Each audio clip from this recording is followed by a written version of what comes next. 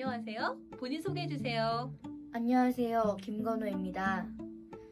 이번에 서울시향 선생님들과 연주를 할 수 있게 돼서 기쁘고 자랑스러웠습니다. 어, 지난 9월 독주회를 했잖아요. 그때는 코로나 때문에 어, 청중들이 거의 올 수, 오실 수가 없었어요. 그런데 이번에 보니까 와, 만석이더라고요. 진짜 많이 오셨어요. 네.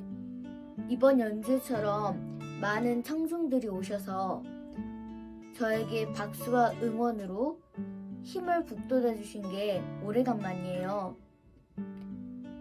처음에 혼자 했을 때는 되게 떨렸고, 아, 되게 떨렸는데, 한상희 선생님이 부드럽게 풀어주셨어. 너무 고마웠어요.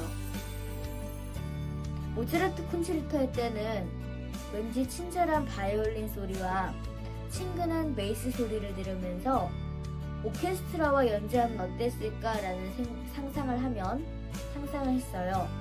그래서 Day by Day를 연주할 때 청중들의 소리를 악기로 생각해서 연주를 했어요.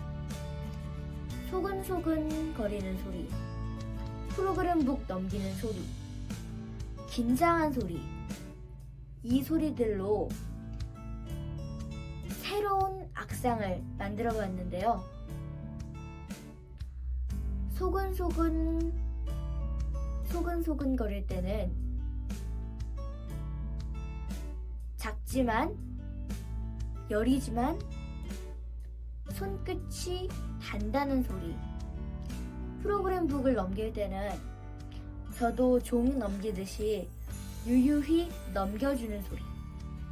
긴장할 때는 왼손 베이스를 조금 더 크게 쳐서 몰입감을 몰입감을 주어 주는 등 청중의 소, 몰입감을 주어서 청중의 소리를 말 그대로 악상으로 표현해 보았어요.